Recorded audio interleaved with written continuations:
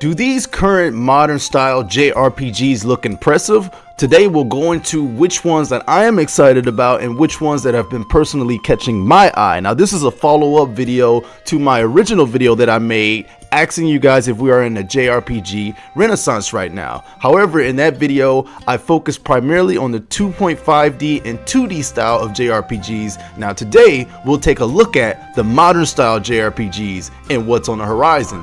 Now keep in mind this won't be a full comprehensive list, these are just the JRPGs that have been catching my eye that are in the modern style. So without further ado, let's jump right on into the video. Now my number one will be Ys Nordics. Man, I hope I said that right. Now, I've never really played a lot of these games, but this one in particular is really starting to catch my eye with its amazing looking graphics. And one thing I can always say about the Ys series so far, they have always had some absolutely phenomenal battle systems. I love the battle system in this game. I love how free flowing and how free uh, effortless it is. I'm absolutely loving the way that you get around the map and traversing the map. It looks like they're using a lot of new innovative features that feel like a modern JRPG. And this is what modern JRPGs need in my opinion. Sometimes we need nice platforming and nice ways to get across the world maps. So I am really liking this game so far and it's honestly like my sleeper expectation. It's my sleeper right now because I've never really been into this series but I've watched my brother play a few and I'm really liking the way that this one is turning out so far. So keep your eyes open for Ys Nordics. It looks impressive to me and this is the exact type of style that I'm also into. So I will definitely be keeping an eye out for this game right here. Next is the Persona 3 remake. Once again, this is a franchise and series that I've never really been into. However, I've always respected and admired it. And this time, I might actually bite the bullet and jump into and try this remake here.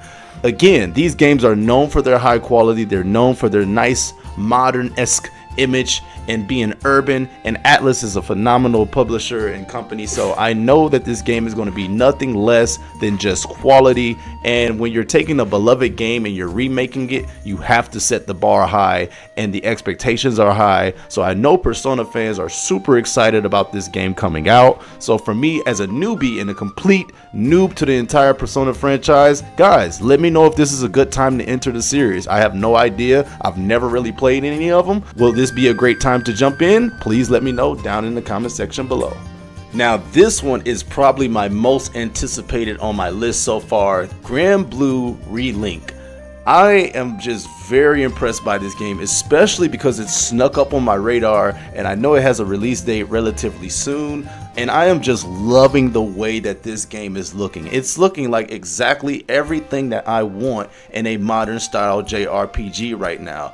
I'm just hoping that the battle system, the characters, and the story really, really hold up for me because visually and aesthetically, this game gives me that classic 2000s JRPG feeling. And that is a feeling that I honestly have not held had in a long long time. And if you guys probably couldn't tell by this point in the video, I'm a, more of a classic style JRPG player. So late 90s to mid 2000s for me. That's my era of JRPGs. So when I see this game, it just gives me all the good feelings in all the good ways. This is by far my most anticipated JRPG in the modern style on this list and upcoming. And again, I played and dabbled in the versus game or the fighting game and it was okay. However, this is exactly where I want to see this game. I want to see it in this space, and I am just so extremely excited. Man, it looks beautiful and amazing. So, this will probably be a day one for me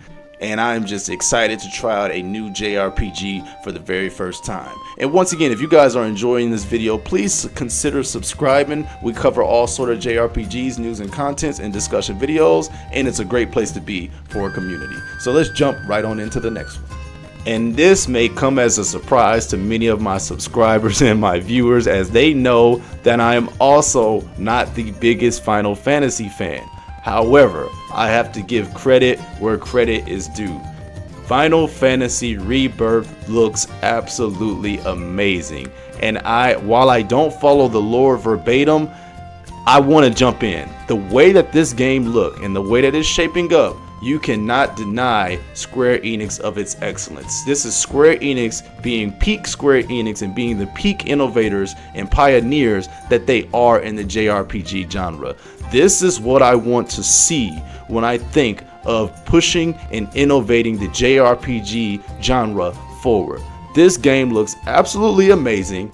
Again, I am not the biggest Final Fantasy fan. I believe being a true JRPG fan is knowing when to give credit when credit is due. So Final Fantasy is definitely on my radar. If not day one, but still it is on my radar, most definitely. And that about wraps up the top JRPG in the modern style that I am looking forward to, guys. Be sure to let me know if you agree with any of these on this list and let me know which one of these lists that you are most excited for. Again, for me, I cannot wait for Granblue. That is my most anticipated modern style JRPG. And you guys be sure to hit the like button, hit the subscribe button. It really helps the channel out and I appreciate you guys so much. Thank you for watching the video and I'll see you on the next one. God bless.